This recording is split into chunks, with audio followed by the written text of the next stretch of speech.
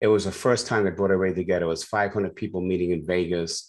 Um, they hired me to keynote and do some breakouts, and it went really well. And then um, they brought me down four months later to give my findings, recommendations of what I saw at the conference, and um, and they said, bring your credentials. You know, we want to do more work with you.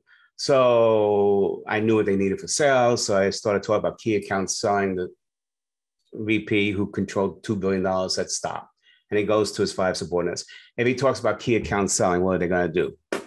I said, okay, we also need major account. After three times, I decided, you know what? They're not buying what I'm saying, even though they asked me to come down here. So I closed the PowerPoint and I said, I'm confused. You asked me to come down and give you my, my, my credentials. I'm doing it.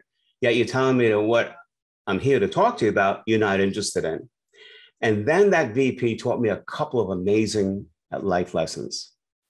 The first thing he said is, Ron, I'm like every other client you have. We bring people in like you to come in and speak to our people. And do we ever follow through in what you do? No. So you become the flavor of the month.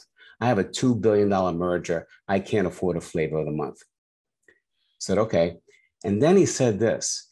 He goes, I need to unify this merger. It's disparate right now. There's only one person who I know wrote this book, and it's called The Titan Principle.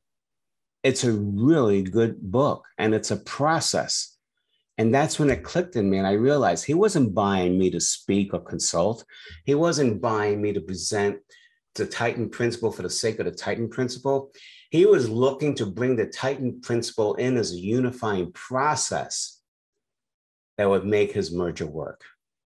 So when I got to understand the real motivations behind it, it allowed us to get into a really good conversation. And then I said, okay, so what do you suggest? He goes, well, I suggest we bring you to Chicago and we have all our management team meet you there, but I need you to do one thing. And I go, what's that?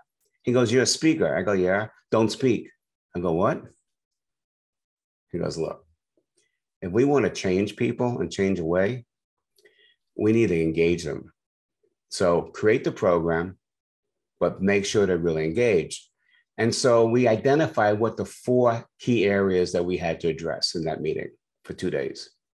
And then simply I created a module on each area, broke them into teams. We processed it. Bottom line, like you just said it a minute ago, they did most of the talking. I did most of the facilitating. The funny thing is, when the evaluations came in, they called me the best speaker they ever heard.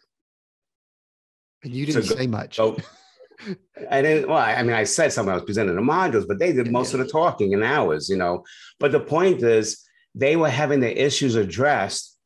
That's why they felt it's so valuable, and that's why they agreed to go with the bigger contract. Hmm. Yeah, and it because and uh, gosh, it goes back to what we were saying. Um, first of all, you listening to what the real issue was. Yeah, and and let's define listening. How how yeah, go ahead and do that because I haven't have a follow up question. That Sorry. Define listening. What is listening? Hearing is when you take the word someone says and you try to construct it in your world as how you see it.